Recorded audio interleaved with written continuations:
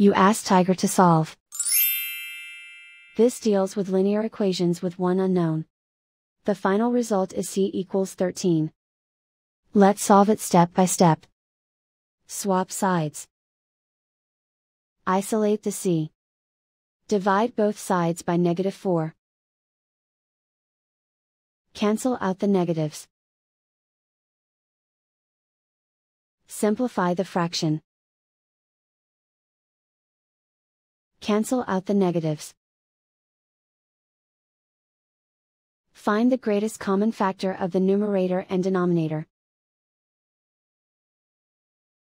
Factor out and cancel the greatest common factor. And so the final result is c equals 13.